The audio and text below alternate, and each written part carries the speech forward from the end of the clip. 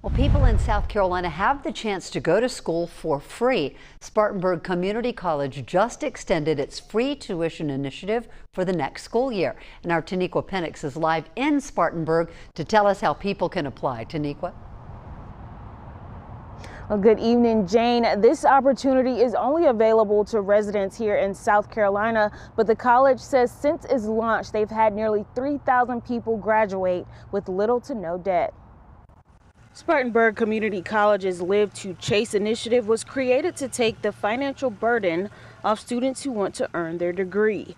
The Director of Strategic Communications, Colton Gray, says this is a unique opportunity they hope many will take advantage of.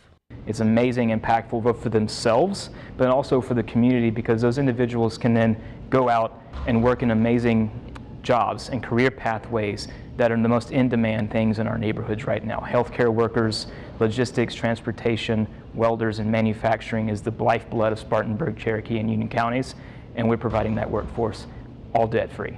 To qualify, a student must be a resident of South Carolina, complete the 2024-2025 FAFSA, enroll in at least six credit hours, and maintain a minimum 2.2 GPA.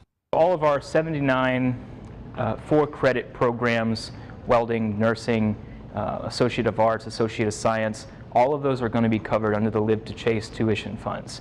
To apply, students can go to sccgoesfree.com.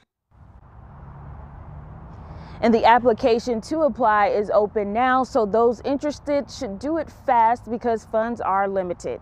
Reporting live in Spartanburg, Taniqua Penix, WYFF News 4.